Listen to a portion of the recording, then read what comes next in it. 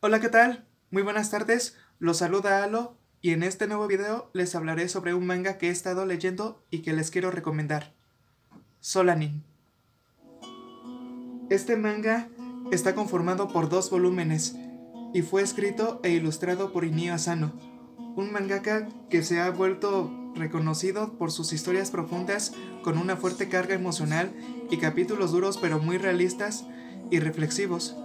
Su repertorio está conformado por mangas que varían de un tomo único a 13 volúmenes y suele combinar el slice of life con otros géneros como el drama, coming of age, terror psicológico, humor negro y ciencia ficción.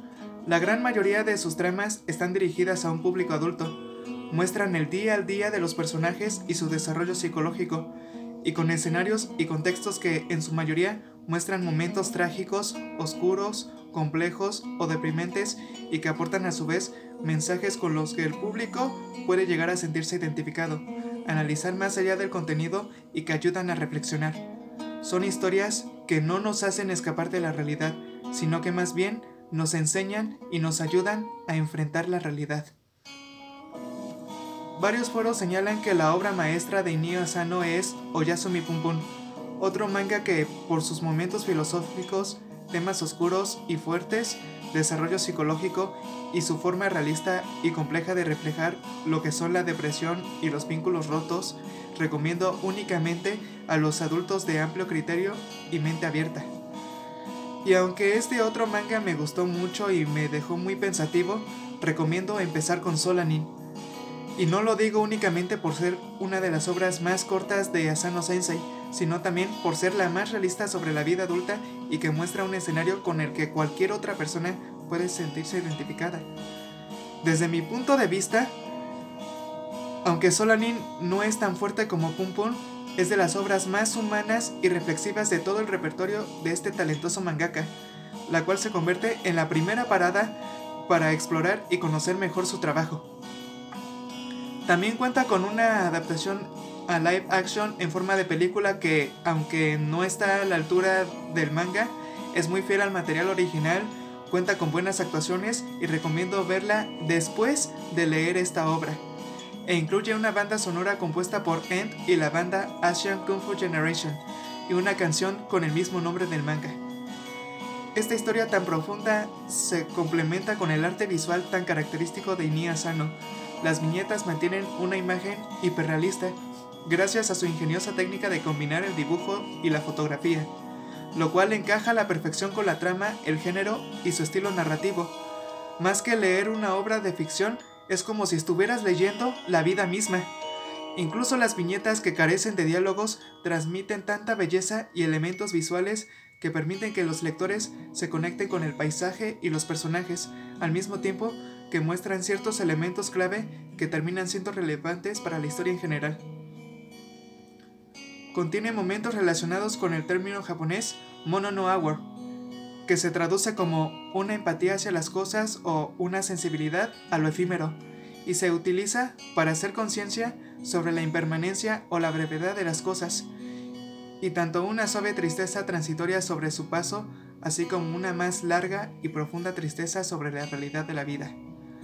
La forma en cómo los personajes contemplan estos paisajes nos hacen analizar psicológicamente su estado de ánimo, y este puede expresarse como un estado de tristeza, dolor o incertidumbre, pero también nos muestran momentos de alegría, paz y esperanza. El diseño de los personajes me pareció muy curioso y muy especial, y Neo Asano no sigue la clásica estética de presentar personajes con los ojos demasiado grandes, cuerpos voluptuosos y muy desarrollados o rasgos demasiado aniñados. Sus personajes presentan rasgos más humanos y encajan a la perfección con los escenarios y el desarrollo de la historia.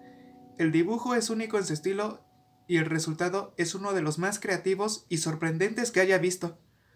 Sin desprestigiar la estética clásica de la industria del anime y del manga, la estética de Asano Sensei se ha convertido en una de las más atrayentes debido a todos estos motivos que he estado mencionando con anterioridad. Ahora que he terminado de resaltar el arte visual del manga, les presentaré el contexto narrativo y evitaré decir spoilers demasiado impactantes. Al mismo tiempo, les daré un breve análisis sobre el mensaje principal y una conclusión de la obra en general. La hipnosis en varios sitios web suele presentarse de la siguiente manera. La historia se centra principalmente en Meiko Inoue y Naruo Taneda, una pareja que lleva dos años de haberse graduado de la universidad, pero que carecen de objetivos al no contar con una dirección real, ingresan a la sociedad sin tener ni idea de qué hacer con sus vidas como adultos. Meiko trabaja como oficinista para pagar el alquiler de su apartamento, mientras que Taneda trabaja como ilustrador en una empresa de prensa apenas ganando lo suficiente para tomar parte de la carga de Meiko. A pesar de que Taneda se reúne a menudo con sus compañeros para interpretar música rock, siente que algo le falta para ser lo suficientemente reconocidos como banda. Descontentos con el ritmo de sus vidas de graduados normales, las cosas cambian cuando Meiko decide dejar su trabajo y Taneda decide dedicar tiempo para escribir su primera canción adecuada para la banda. Habiéndose liberado de sus viejas rutinas, ahora se encuentran inseguros de a dónde los llevará su nueva vida. Lentamente, Meiko y Taneda llegan a abrazar juntos su impredecible futuro, hasta que ocurre una tragedia inesperada que cambiará por completo sus vidas y la de sus amigos para siempre. Este manga me ha parecido interesante y sentí una gran conexión con la protagonista. Me sentí muy identificado con Meiko. Hubo momentos en que llegué a atravesar etapas similares a las que tuvo que lidiar y la canción que escribió Taneda se convirtió en un punto clave tanto para la trama en general como para el desarrollo personal de Meiko. Y lo comprendí aún más con el clímax y tiempo después de haber pasado por una decepción y tras haber reconocido mis errores en esa misma situación. Tal y como lo dice la letra, la vida está llena de despedidas.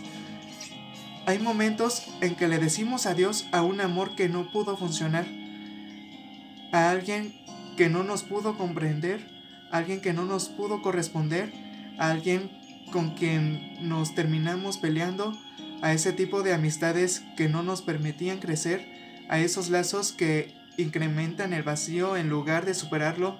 Incluso hay momentos en que nos despedimos de personas con quienes llegamos a compartir momentos especiales y tuvieron que partir al otro mundo, o que simplemente tomaron un camino distinto al nuestro y se convierten en un recuerdo valioso, y ese recuerdo, de acuerdo a nuestra percepción o estado de ánimo, o puede destruirnos o puede alentarnos. Pero hay otra despedida que sin darnos cuenta es el más inevitable y significativo, decir adiós a quienes solíamos ser nosotros mismos. Crecer es estar en constante cambio, y aunque a veces sentimos que perdemos nuestro rumbo, carecemos de algún objetivo y crecemos, con esa idea de que nada tiene sentido,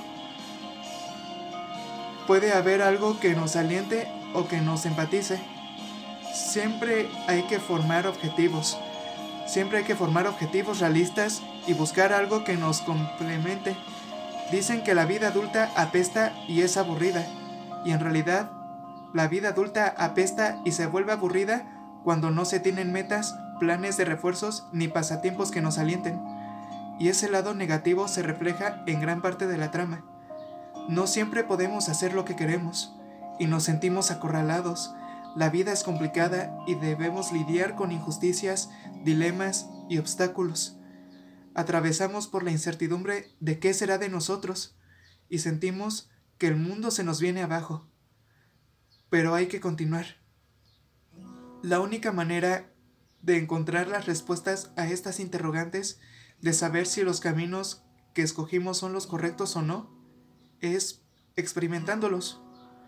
Como lo había dicho antes, por eso me gustan mucho esta clase de obras, porque no solamente muestran una historia dura, triste y muy real, sino que nos brindan reflexiones y nos dejan mucho en qué pensar. Puede resultar deprimente para algunos lectores, pero vale mucho la pena darles una oportunidad. En pocas palabras, La historia de Solanin es como la vida misma. A veces te sonríe y a veces te hace tocar fondo, pero también a veces, cuando menos te lo esperas, te ofrece nuevos caminos de esperanza. Hay momentos en que caemos en lo más profundo de este abismo, pero al final lo único que queda es simplemente levantarnos y caminar hacia adelante.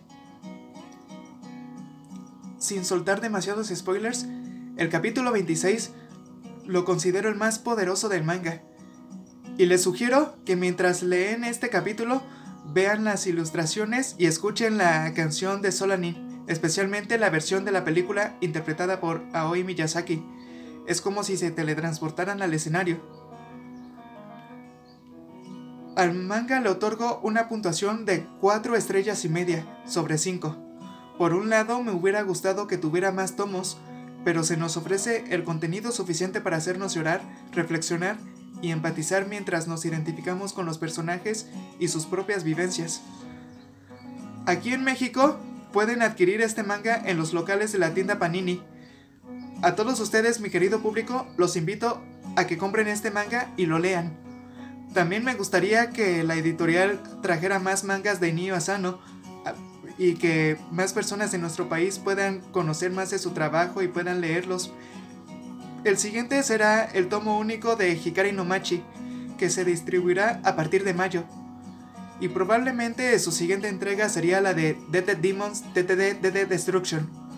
Así que, si no es mucha molestia, los invito a que en su página de Facebook, Panini Manga México, el día viernes de cada semana en su post de Viernes de Peticiones, comenten el nombre de esta obra y dejen sus reacciones a dichos comentarios en que lo mencionen.